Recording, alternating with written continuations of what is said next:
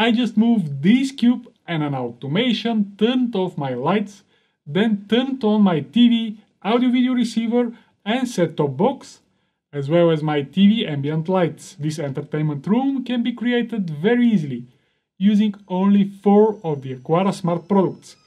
Let's see what these products are and how to set up this. What's up, Kiril here. I have my hands on a Aqara Smart Switch, Smart Plug, a Cube, which is kind of cool looking remote with 6 possible gestures, and a Aqara Hub M2 that orchestrate them all. These devices are using Zigbee 3.0 for the communication, which is pretty good. And apart from the Aqara mobile app, you can natively use Apple HomeKit, Alexa, or Google Assistant to control the Aqara devices and to make automations and scenes. Please bear in mind that at this very moment, that is the release date of the video, the Aqara products are featured on the Amazon store in a promotion code deal of the day. That means you can get them much cheaper than their usual price. Links can be found in the video description. Now, let's see the Aqara products and their capabilities in details, starting with the Aqara Hub M2. After that, we will add the Aqara Smart Plug and Smart Switch to the plate and the Aqara Cube for dessert. The Aqara Hub M2 is a multi-protocol gateway for maximum compatibility and future proofing. It supports Zigbee 3.0, which is faster, more stable and energy efficient, allowing you to connect up to 128 devices. Aqara Hub M2 is equipped with an infrared transmitter allowing you to control any of your infrared home appliances and it also supports Bluetooth Low Energy 5.0. It has an Ethernet port, which means you can plug the Aqara Hub M2 directly into your router, or you can use the Wi-Fi because the device is also having a dual Wi-Fi antennas inside. On top, it has a built-in speaker and supports all native Alarm HomeKit modes. To set up the Aqara Hub M2, you just need to download and open the Aqara mobile app, to tap at a new device, to select the Hub M2, and to follow the instructions. You can eventually replace the Aqara Hub M2 with other Aqara hubs like the Aqara Hub M1S or even the Aqara camera, which also have Zigbee hub inside. But you will lose the infrared and Bluetooth low energy capabilities that the Aqara Hub M2 has. Alternatively, you can replace all of these Aqara hubs with a Zigbee stick like the ConBee 2, and you will still be able to control all of your Aqara devices. But that's another story and probably another video. That was the Aqara Hub M2. Let's continue with the Aqara Smart Switch. This is the European, but there is a US version as well. Also you can choose between Aqara Smart Switch with neutral and no-neutral version as well as single or double rocker. This one is the no-neutral double rocker version and the installation is that simple. And when I'm saying that simple, please be careful here. Make sure that the power at circuit breaker or fuse box is turned off before wiring. And double check the wires with a test pencil. If you are in any doubt here, please ask a professional electrician for help and do not listen some random guys from the internet like me. With that being said, uh, let's see how a random guy, pardon me, how I managed to connect the Aqara Smart Switch with no neutral. Connect the live wire to the L hole and load wire to the L1 hole.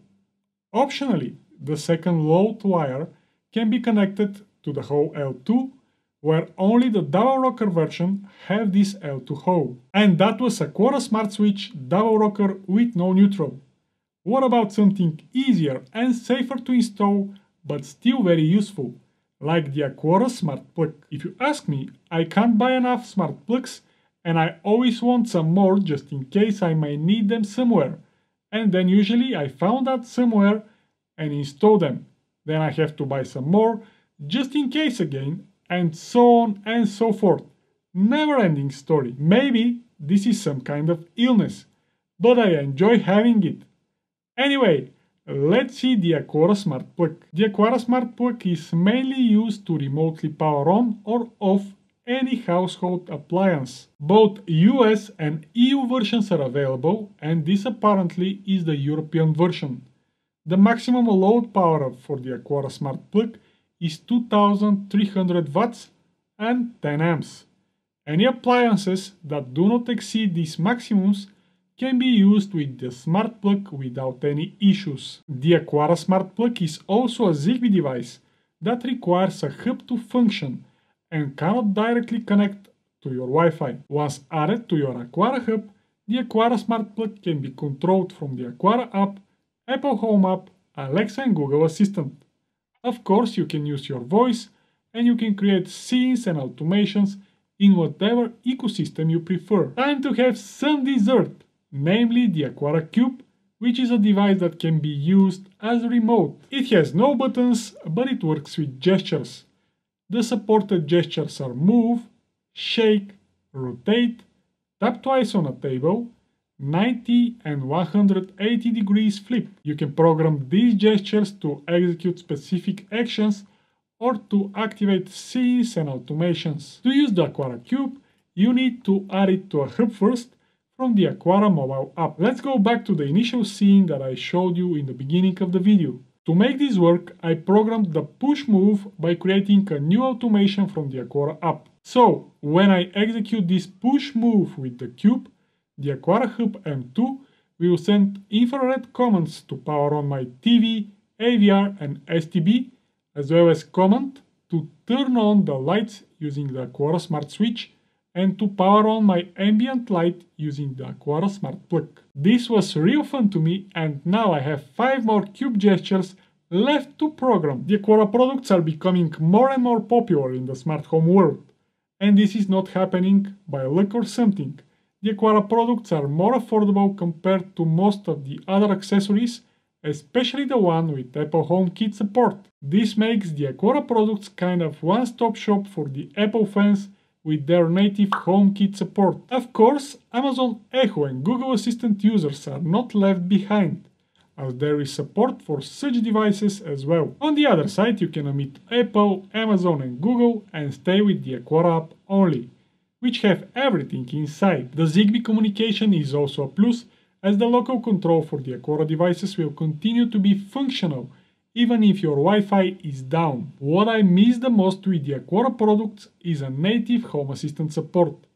But I believe this will be sorted out sooner than later. With that being said, smash the like and don't forget to subscribe for my channel with the notification bell if you haven't done that already. If you want to see another video of mine, check for example this how to use Apple AirTag as an automation trigger tutorial or any of my playlists. Follow me on Twitter, join my Discord server, stay safe and don't forget, home smart but not hard. I'm Kiril and I'm done speaking.